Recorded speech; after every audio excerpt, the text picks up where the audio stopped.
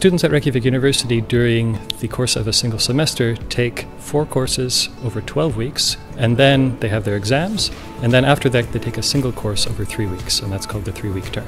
I teach a course where the students design and develop computer games over the course of these three weeks. Some of the students who come in are very proficient gamers, but then some of the students aren't necessarily uh, gamers, but they're interested in thinking about games as a creative way to apply their programming skills. Then they form mixed teams with one another so they can kind of benefit from all these different perspectives that come into the class.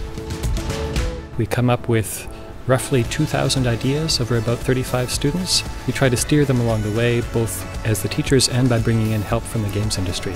And then on demo day today, we have more people from the industry, and all of them say, Yeah, wow, uh, it was only three weeks and they've made these things. How did that happen?